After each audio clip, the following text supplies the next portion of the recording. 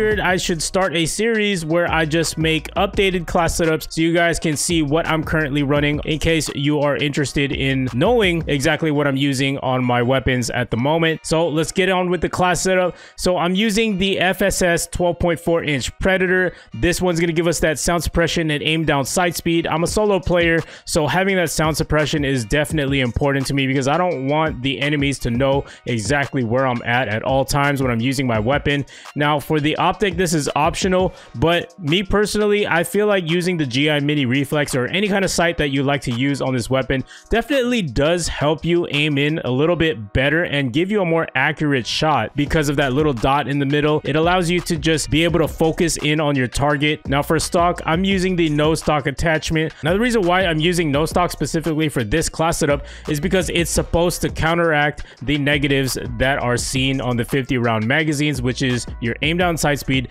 as well as your movement speed. So it basically negates these negatives that you get from the 50 round mags. So for our last attachment, we got on the rear grip. This is the stippled grip tape. This one will increase your aim down sight speed, further helping us mitigate those negatives as seen on the 50 round magazine. And it will also increase your sprint to fire speed. So for perks, this is personalized to me. I personally don't like dying to a lot of explosives or being seen on the enemy minimap when they call in a UAV. For tracker, this really helps me flank around the map and spot enemies in my area because it literally shows me their footprints and all you got to do is just follow it and it'll lead to the easy kill. That's why I'm using EOD, Ghost, and Tracker. Then for my lethal, I'm running with a C4. This is very helpful in numerous situations, whether an enemy is camping in a window or I'm trying to lob a C4 over an object to be able to help me win that gunfight if I don't have time to reload. Now for tactical, I'm using Stim Shot. This will help me recover a lot faster after I've been hurt or if I'm trying to have more confidence to go back to the gunfight a little bit quicker versus the person who is still healing up. I've definitely got the upper hand in that situation. And I'm going to be showing you guys in the next segment a play-by-play -play of how I exactly do well in multiplayer. If you want me to keep posting breakdown videos like this, let me know in the comments below and leave a like on this video. And don't forget to subscribe if you're new around here, if you want to make your way back to the channel. And I will see you guys in just a little bit.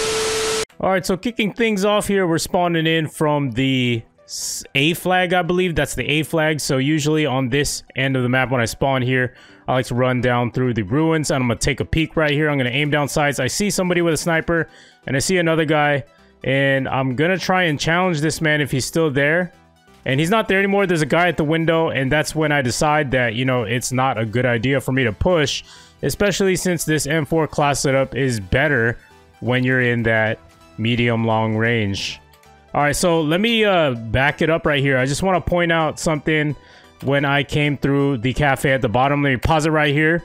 So as you can see, that's why it's very important to be doing things like drop shotting. If you don't know how to drop shot, please watch my new best settings video on how to configure controller settings so that you can be able to drop shot for situations such as this. So this guy had absolutely no idea. He's standing up, he's running through this door, and I'm over here crouched, ready to go for that drop shot, and he has no idea what's coming, and I get the easy kill. Now I didn't I know I didn't do a full drop shot there, but you get the idea, still the same concept. So I do see some footprints. I'm surveying the situation.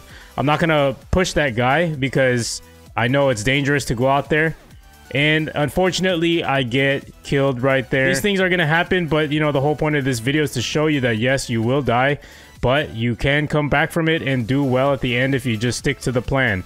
So here I am again. I'm watching my lines of sight. I do see somebody right there. And I toss a C4 because I did see somebody across the other side of the wall. And I'm stim shotting. I'm looking around.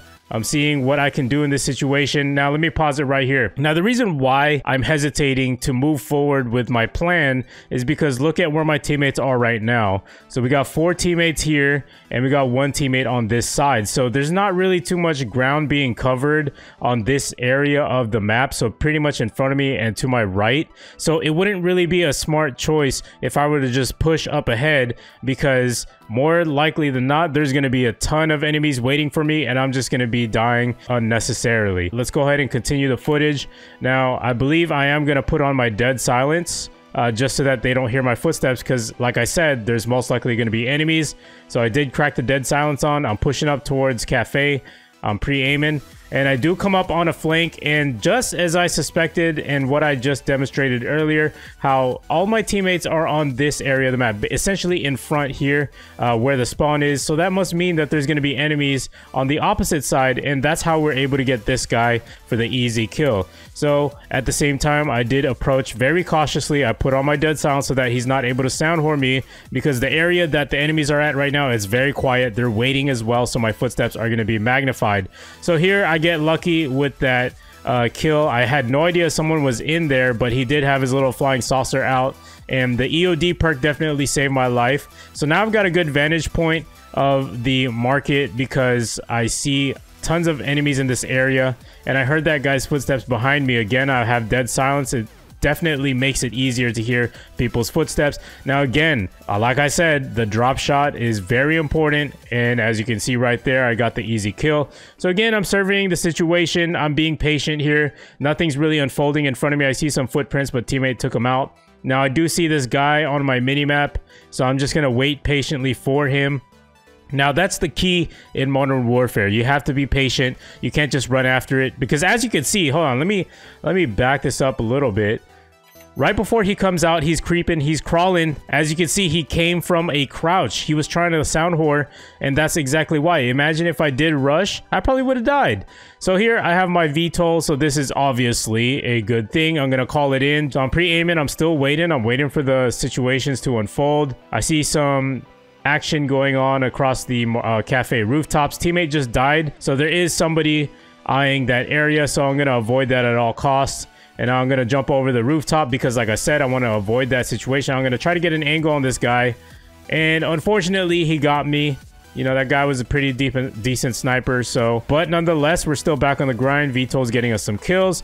So I'm going to be pushing towards the back alleyway and into this house. And I'm going to pre-aim here first uh, just to see if the enemies are coming out of their spawns. I hop up this wall, and we do come up on an enemy. Now I turn on my dead silence, take out that enemy there. So here I see some footprints. I know that there's enemies around me. They're pretty fresh. So I'm going up. I'm trying to see where they're coming from. Again with the drop shot. Now see what I did here. Let me show you something real quick that you guys can implement into your game. So this is a situation called the pop out or something, pump fake, whatever. So the guy backs out. Now, what I do is I lunge forward and I simultaneously shoot at the same time. So here we go. I'm going to pop forward, boom, and get the easy kill. I knew that guy was reloading and he was potentially hurt. So I wanted to get the jump on the guy. Dude, there's so many footprints everywhere. Which one should I go for first?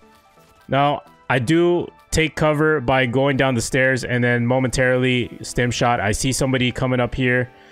Now, notice how I just did not decide to engage in the guy that I actually got a hit marker on back in their spawn. Instead, I'm going up here, I'm retreating because I know that they're coming after me. There's a guy down there. I'm to throw a C4. Unfortunately, I didn't get the kill, so now I'm wondering where did this guy go? So I'm to investigate. I've got my dead silence on. Can't sound horn me. He doesn't know where my footsteps are coming from. I do see some footprints again. He most likely went upstairs. Let's check it out. And there he is running across the bridge. Another thing that I want to point out is that notice how my movement when I'm moving around corners, I'm sliding. You should definitely get used to that. Sliding around corners definitely is useful because the more you slide around corners just like that, the more unpredictable your movement is. And, you know, like I said earlier in the gameplay, you could come up on enemies that just didn't expect you to be there. So here we go. We got some guy camping over there. Now we're back on a streak. We've got our VTOL. And I'm going to safely call it in in this area. Again, I want to keep the momentum going and keep applying pressure to my enemies. Now, I do see an enemy on top of the cafe rooftops, but Unfortunately, I decided that he's not going to pop out anymore. So I don't want to waste my time. You know, when you're aimed in on somebody, don't aim in for too long. I have a bit of a three to five second rule. If they don't pop out, then forget it. All right, so here I've got the uh, market rooftops. Now I'm transitioning to the cafe. I do get an easy kill here. Now let me back it up real quick. So the reason why I decided to push this area uh, on top of the rooftops here is because I knew that the guy that was previously there that I wasn't able to get is still there. And I've got my VTOL up. If I was the enemy, I would definitely be hiding as well. And plus, I believe during the gameplay, I did hear a door close. So that's why I decided to push and go in for the surprise. Boom. And he is dead. So those are little things that you have to think about in the game. You know, what would you do if you were the enemy, if you had a VTOL out? I see that guy from distance, can't get him. I see the guy down here, and I'm just going to wait patiently and get the easy kill. I have the advantage as my position is on high ground and he should have a more difficult time aiming it on me because of that. Now let's pause it right here. Now I'm about to push into their spawn for a number of reasons. I'm looking at how many kills I need left to get my advanced UAV. So this is where I tend to switch up my playstyle and the momentum that I'm moving uh, depending on how many more kills I need for the next kill streak. Also, I do see some activity here on my compass, so that tells me that there's got to be enemies here. And another indicator is that look at where my teammates are. They're all on the other side of the map. There's not too much going on over there. So what does that mean? There must be some enemies over here in this area spawning in, which is where they're spawning in from. So I'm going to make that decision to go ahead and push really soon. So I take out that guy because I saw that my enemy died and he was engaging in a gunfight. So I'm pushing. I'm being cautious. I go ahead. Okay, let me back that up real quick. So before I enter this area, because I know that this is where we're most likely going to see some enemies. And on top of that, I also did hear his footsteps. So I was sound horning. So I pre-aim here and that puts me in a good position. Now I've got the advanced UAV. Now it's pretty much I'm just looking at those Doritos on the minimap or those little puff balls, whatever you want to call it. And I'm just playing it safe so far because I know exactly where they're coming from. They don't know where I'm coming in from. So that's my advantage.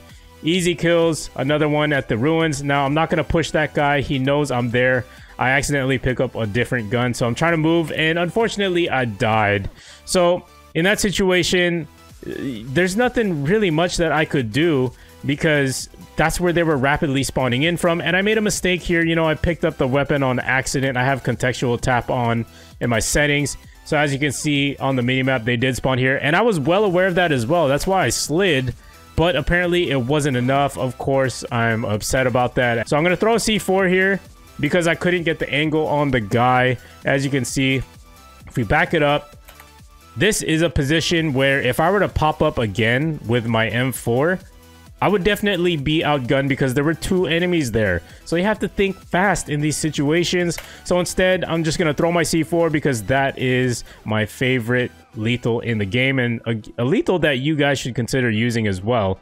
So here we go again. We got someone down the middle. I saw his gunfire on the compass. Let me just rewind that. You know, I just want you guys to be able to see why I know exactly where to look at all times. Watch, watch the compass right there. Boom. The more I turn, the more it directs me to where that fire is coming from. So I just make the connection and I kill the guy that's running out there. So I'm taking cover. I'm being shot here. I'm going to close the door here in a second. Uh, just to make it a little bit harder. I do see someone coming into this house. I do play a little aggressive here. I get the easy kill, and I believe there is one more guy that I missed, and that was the guy that actually went upstairs, the one that I was initially going for. So that was an error on my end. You know, I make mistakes as well, and hopefully you can learn from my mistakes by watching my gameplay and my breakdowns. So I do take that, take out that guy right there. I was very confident in that gunfight. Normally I wouldn't engage, but he was standing out in the middle in front of the door, so I figured it was fair game, you know? It was either him or it was me. So now I'm seeing this guy behind me. So let me back this up. This is actually something that probably got him scratching his head.